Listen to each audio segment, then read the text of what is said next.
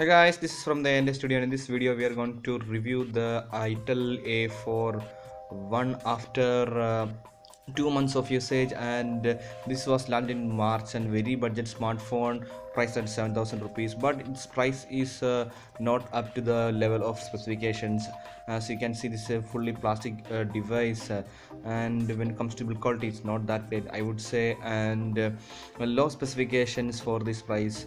And uh, I would say in the back cover as you can see lots of scratches after using uh, for just two months as you can see. No so it's uh, build quality is not that great. So coming to the back cover that comes with this device is uh, not uh, that great but uh, it's a transparent have a cover for the cap for the headphone jack and color has gone to a yellowish. And let's check the performance. Uh, the UI is almost stock but uh, have some lag due to the uh, 1 GB of RAM. And you can see the display here. The color uh, is uh, what do you say leaking so lots of uh, uh, build quality problems in coming to the display side and runs on marshmallow android 6.0 and uh, let's have a look at the camera. And this comes with the 5 megapixel rear and 2 megapixel front.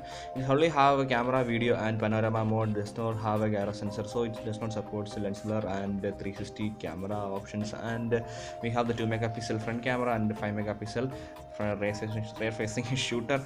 Now let's check the uh, quality i would say. It's 5 megapixel 1.9 megapixel front facing shooter and it supports uh, 720p only. So you can record only just hd videos but not full hd it's supported and uh, the display is a 5 inch display it's not HD FW VGA display and does not comes with any uh, Gorilla Glass or any other protection. It's almost stock Android in notification I would say. Its launcher is sort of custom launcher running on this device. You can see it's a lightweight device uh, just okay to hold and have a fingerprint scan runs on a MediaTek chipset 1.3 GHz quad core and here also you can see the display issue the light uh, spreading out there the white and uh, have a 1 gigs of RAM and sort of ad is coming.